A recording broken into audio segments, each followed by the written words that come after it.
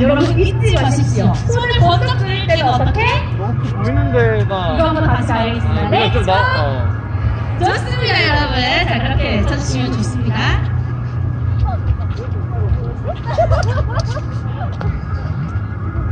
지금 제가 비밀 이야기를 듣고 와가지고 선물이 별로 남지 않다고 합니다. 선물이 얼마 남지 않을까요? Trek 더 크게 빠르게 외쳐 주시면 감사드리겠습니다. 자 그럼 Trek에 대한 질문을 또 드려보도록 하겠습니다. Trek하면 road bike의 대명사라고 할 수 있겠는데요. Trek의 road bike는 크게 세 가지 모델이 있다고 합니다. aero 타입의 Madone이 있고요. 올 라우더 타입의 에몬다가 있고요. 레드러스 타입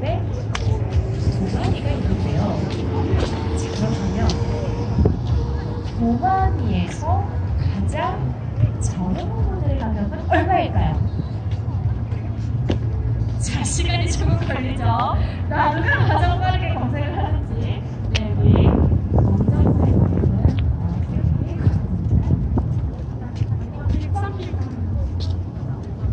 먼저 가격은 자, 어, 합리적인 가격으로 나왔죠? 제가 아, 마이크 안 드렸죠? 안경 쓰지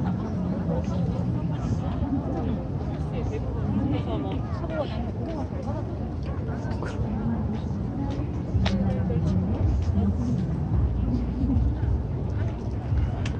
궁금하다. 109만 원 확실한가요? 정답입니다.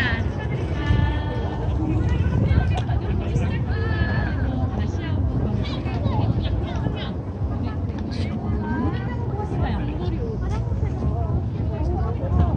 다시 한번 다시 한번 뒤쪽에 주황색 주세요. 여기 여기 나 여기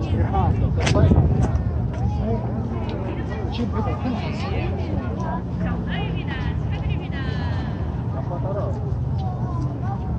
이것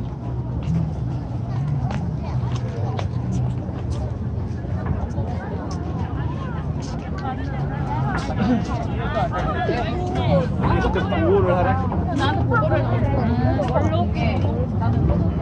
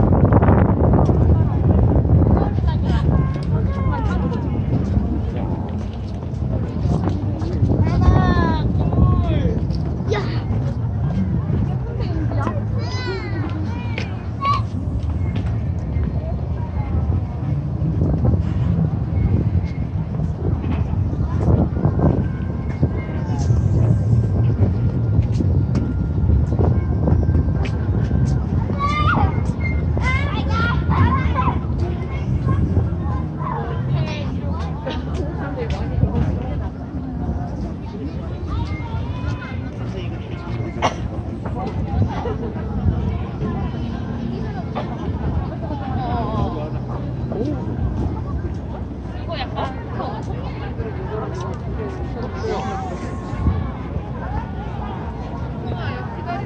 너무 없어.